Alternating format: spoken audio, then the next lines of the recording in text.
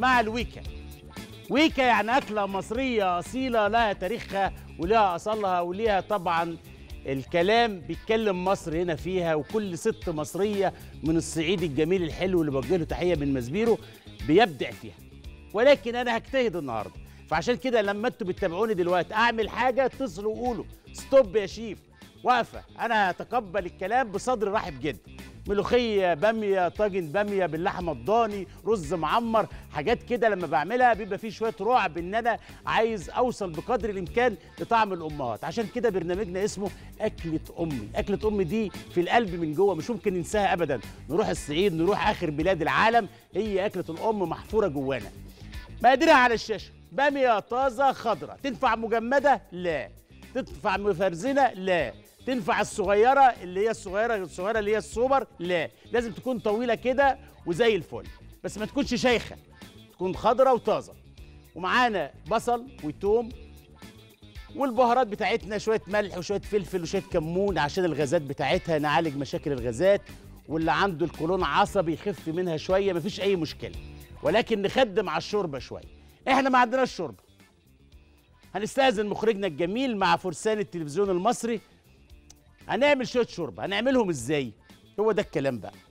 حلة على النار فيها الدلع كله بصلاية فص توم طماطماية ورق لورو شوية جزر آه شوية قرنفل لومي الحاجات اللطيفة الحلوة. وهناخد الفراخ بتاعتنا الجميلة اللي هي معانا في المنيو. هنعملها فراخ مشوية بالبصل.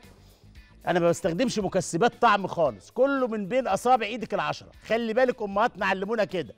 آه. هناخد الفراخ دي يا عم الشيف أنا هشويها. بس هشويها بطريقة النهارده وهستفيد بالشوربة بتاعتها بما ان أنا معايا فرخ الأول حاجة هشيل العرق أو اشيل ظهر الفرخة ده كده العمود الفقري بتاعها بالسكينة كده بالشكل ده كده وأخلص منه. حلو قوي عشان أعجل موضوع السوى ده مش عايزه. هنخليه نحطه هنا كده يستوي لوحده. يديني شوربة. حلو. ونمسك الفرخة بتاعتنا دي كده. هنقطعها إيه؟ أربع تربع عشان تكفي الأولاد. آه. زي ما هي كده. نشيل الجلد الزيادة ده كده. وتتسلق في قلب الشوربة. يا فاطمة. آه. عشان آخد شوية شوربة حلوين. أنا بشيل البلانشة بتاعتي. بشيل كل حاجة بقى خلاص كده. وخلصت خلاص. الشوربه بتطلع معايا بجهز الحلة اللي أنا هعمل فيها الوكا أهي زي الفل. الشوربه بس تاخد غلوة كده واخد من الشوربة بتاعتي دي كده أهوت اللي أنا هعمل بها الوكا بتاعتي.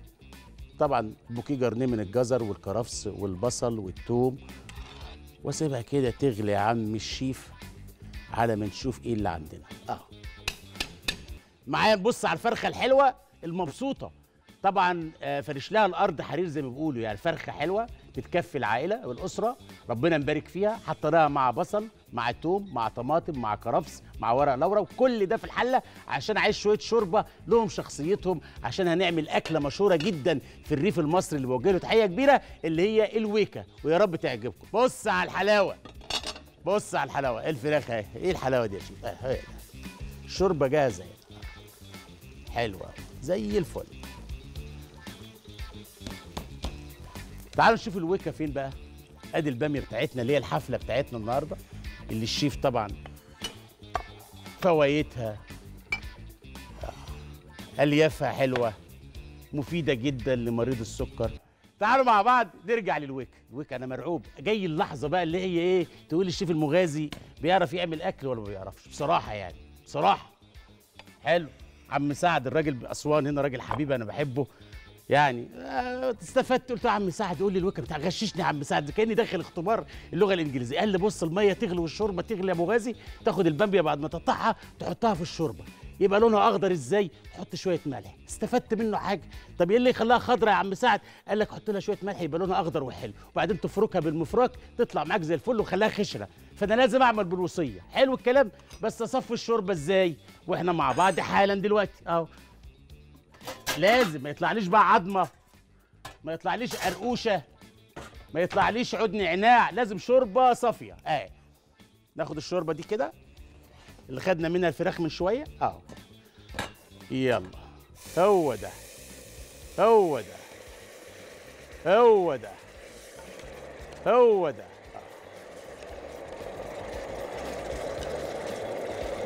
زلزال من الصعيد الجميل الحلو. زلزال من الريف المصري الجميل الحلو. زلزال من أسوان الجميلة الناس الطيبة اللي أنا بحبهم. آه الشوربة تغلى على النار وتبقبق. بامية مستنياها. فرحانة البامية. ليه؟ مخدم على الشوربة بتاعتها. ما هي تزعل البامية بقى فين؟ أما عناها وغسلناها. وخلي بالك البامية ما تتغسلش وهي متقطعة عشان المادة المخاطية اللي فيها اللي يستفيد بيها الجهاز الهضمي. أو القولون أو المعدة أكتر حاجة مستفيدة من البامية هي المعدة. بس تاني اللي عنده مشاكل مع بلازمة القولون العصبي أو متلازمة القولون العصبي عشان يبقى المصطلح العلمي سليم يقلل منها شوية. آه. العلم بيقول كده والعلم لما يتكلم سمع هس. ناخد الشوربة دي كده. مش هنزل بيها غير لما تغلي. مخرجنا بيقول لي بوتجازك لازم أسمع كلامه. آه. لازم يكون نظيف والبامية عندي جاهزة. أظبط الملح بتاعها. شوية الكمون الحلوين عشان الغازات. بتعالج الإمساك. فيها مادة لزجة لطيفة وجميلة. مشاكل برضو الكولون. أهو. زي الفل. ملحك يا شيف توابلك. طبعا خلي بالك لو حاطة ملح على الشوربة يبقى فيه كنترول. أهو. شوية الملح الحلوين دول كده. شوية فلفل حلوين. خدم على الشوربة. حلو قوي شوية كمون. لسه لسه في طشة دلوقتي بقى هي اللي هتدي البامية دي شخصيتها. الطشه بتاعتنا إيه هي؟ عبارة عن توب وكزبرة ناشفة. اهي وسمنة بلدي. تاني توم كزبرة ناشفة سمنة بلدي. بس في خبرة هنا بقى لما أحط الإيه؟ التوبة مع الكزبرة. اوعي تحطي التوبة مع الكزبرة في وقت واحد. استنى على التومة لما تاخد لون بعدين تنزلي بالكزبرة بتاعتنا. آه باميه بتغلي؟ قصدي شوربة بتغلي؟ فيها شوية شوربة عايزهم. بس طيب. هننزل بالبامية بتاعتنا. أهي. خمس دقايق على النار أو سبع دقايق بالظبط حسب درجة حرارة الإيه؟ الحلة. آه واللون الحلو بتاع البامية الطازة. تتكلم مصري خضرة وطازة. ما تنفعش المجمدة يا غالي خالص. أنت عايز تستسهل في كل حاجة تروح تجيب كيس بامية من السوبر ماركت تعملها ويكا. ده الصعيد يزعل مننا. هي محلاها إنك أنت تنزل تجمع البامية دي وتتغسل وتتقمع حلو كده والست بتقمعها كده بتحب ولادها وفي الحب والحنان طالع من بين أصابع ايدها العشرة. هو ده دي البامية. أقلبها كده. مش هغطيها. أنا هسيبها زي ما هي كده. شايفين الخضار والحلاوة؟ واسيبها على النار. طبعا في تكنولوجيا دلوقتي وفي تطوير في مفرق آه وده موجود. بس هياخد وقت والمبتدئين في المطبخ ممكن مثلا يزرزق يعني يزرزق على البوتاجاز يجي على الملابس بتاعتنا. الجو ده كله وارد يعني. ولكن ممكن نستخدم هنا ال hand blender بتاعنا أهو جاهز. بس طبعا بعد ما تستوي شوية أنا بعلمك بس علشان حاجة أو تضربها في الخلاط. ما ينفعش خالص لازم تكون خشنة. آه مالهم الصعايدة؟ رجالة العالم كله. هو ده هو ده. معانا واحد صعيدي في الكنترول. انت بتعترض على الباميه كده؟ الويكا قول لي. هو ده. المهم زي ما هي كده زي الفل. طبعا حبيت تطلعوا فاصل. لازم تغلي لازم تغلي. وبعد ما تغلي نشيلها من النار نسيبها تهدى شوية خالص لمدة خمس دقايق. بالمفراك الطبيعي ده أو المفراك التكنولوجي.